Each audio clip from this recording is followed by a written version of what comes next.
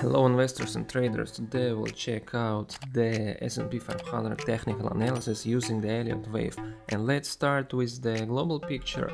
It's a, a monthly chart. We can see that it's it was a clean five um, five wave uh, moves. The first wave, then a small correction. Second, then we had the third wave, the uh, longest wave in the uh, in our impulse. Then we had a triangle I remind you that usually we have uh, triangle in the first wave. Here, check it. It was uh, since 2018 and uh, uh, finished at the COVID crisis. Actually, it was uh, A, B, C, D, and E. And then we got out from this triangle, and then it was the, the last wave, the fifth wave. usually, of course, after the impulse, we have a correction. And let's check out closer the situation that now we are having um, in the in the index. In my mind now we having expanding leading diagonal. And let's uh, check it uh, closer. It's a daily chart here.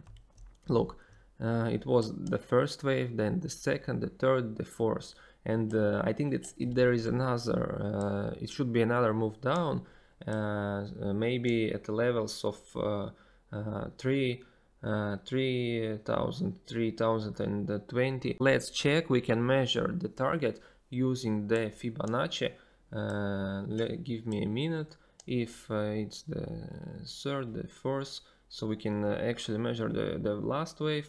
Uh, let's uh, do it. So we are checking and the length of the last wave should be at least like the uh, wave even uh, a little bit longer. So our target is 3386 so let's uh, let's put it here. Give me a minute. Yeah. So it's supposed to be here. Uh, yeah using the Fibonacci levels.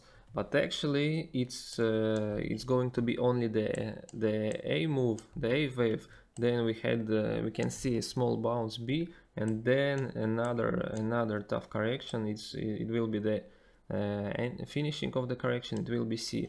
But uh, now in the near future maybe till the end of this year I think that we we can make the, this move the fifth wave and its uh, its target will be here. Yeah.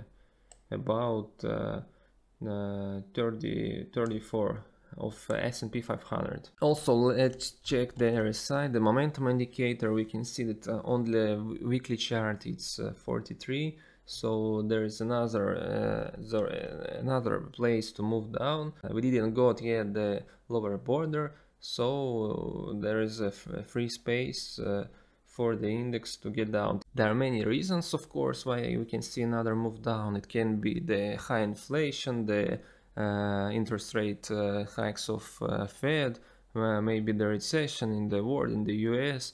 But anyway, from technical point of view, the index now looking very, very weak.